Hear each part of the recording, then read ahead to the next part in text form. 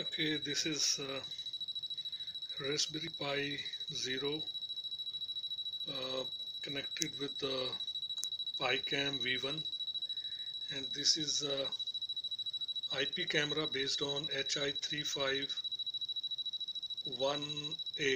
I think. This is uh, H264 based camera. And uh, this is USB to USB 3 port plus RJ45 uh, USB adapter converter adapter whatever you call it.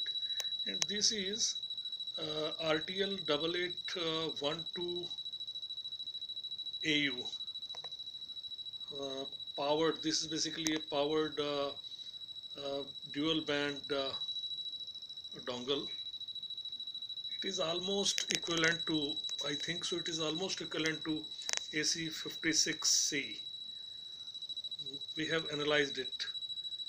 And uh, now this is my very old Futaba 6 EX transmitter.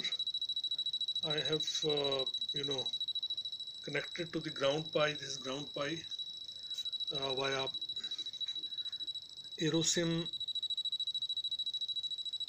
Aerosim flight simulator dongle. Yeah it is somewhere backside. I can't go there. Now the video you can see at the moment. Uh, those two cameras are not uh, active at the moment. Left one is uh, Logitech C920 and the right one is Logitech C615 these cameras are not active. Only uh, two cameras active. One is the Raspberry Pi V1 camera and another one is this IP camera. So now you see the video from the uh, PiCam I will just so, toggle the switch.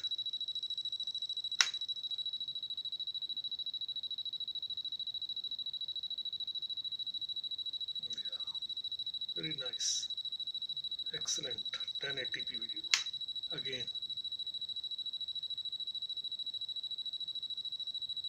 Yeah, this video is from PiCam again